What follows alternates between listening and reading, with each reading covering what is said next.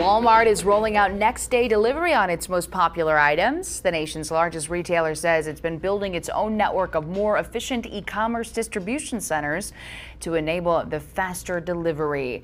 The move comes just two weeks after Amazon said that it's upgrading its free shipping option to Prime members from two day delivery to one day delivery.